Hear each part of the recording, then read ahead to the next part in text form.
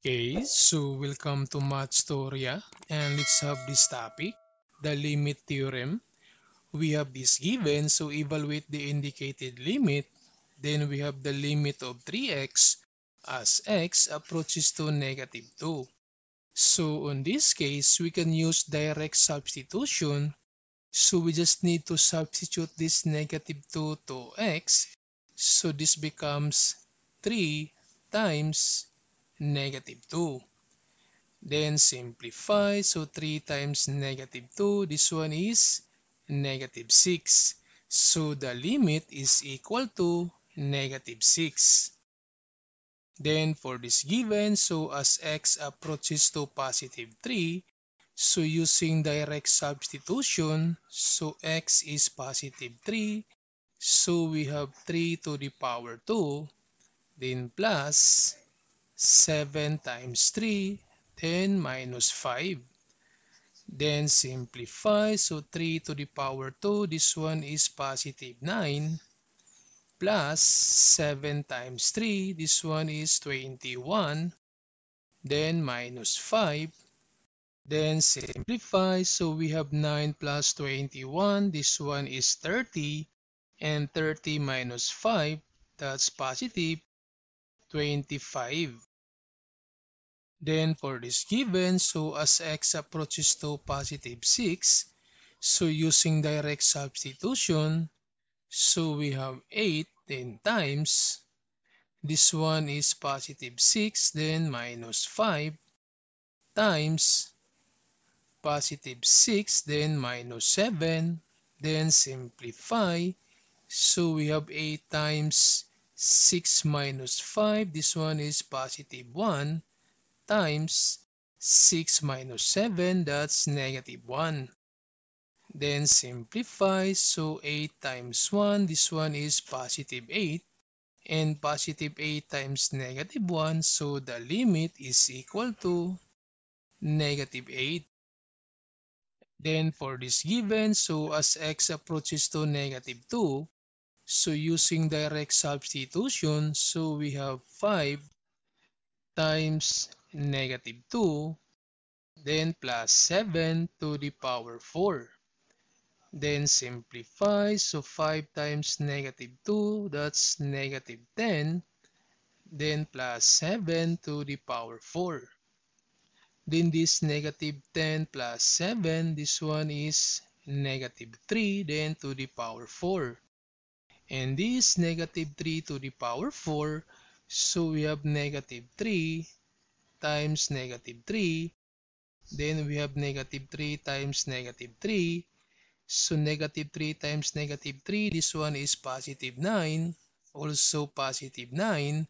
And 9 times 9, so this negative 3 to the power 4 is positive 81. Then for this given, so if the equation contains a fraction, so we need to be careful that the denominator is not equal to 0 because if the denominator is equal to 0 then that given becomes undefined or infinite. So using direct substitution, so as x approaches to positive 3, so we have 4 times 3, then minus 5, then over 5 times 3, then minus 1. Then simplify. So this 4 times 3, this one is 12 minus 5. And 5 times 3, this one is 15, then minus 1. Then simplify. So 5 minus 12, this one is 7. And 15 minus 1, this one is 14.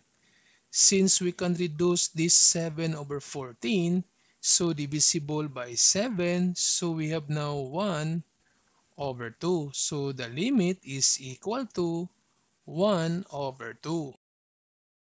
Then for this given, so as x approaches to positive 2, so we have now 2 to the power 2, then minus 5, then over 2 times 2, then to the power 3, then plus 6.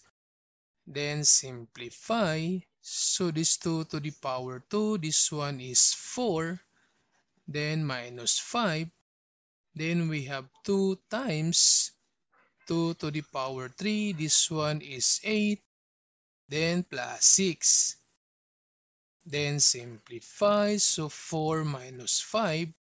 This one is negative 1. And 2 times 8. This one is 16. Then plus 6.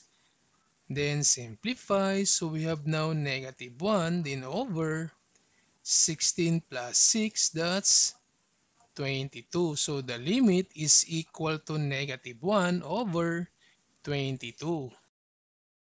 Then for an equation contains a radical, so using direct substitution, so as x approaches to negative 2, so we have the square root of 16, then minus 7 times x is negative 2. Then simplify. So we have now 16. Then this negative 7 times negative 2. So negative times negative. That's positive 14. And this 16 plus 14. So we have now the square root of positive 30. Then for this given, so as x approaches to 0, so we have the square root of 0 to the power 3, then minus 8 over 0, then minus 4. Then simplify, so we have the square root of this negative 8 over negative 4. Then simplify, so negative divide by negative, that's positive. And 8 divided by 4, that's positive 2. So the limit is equal to square root of positive 2.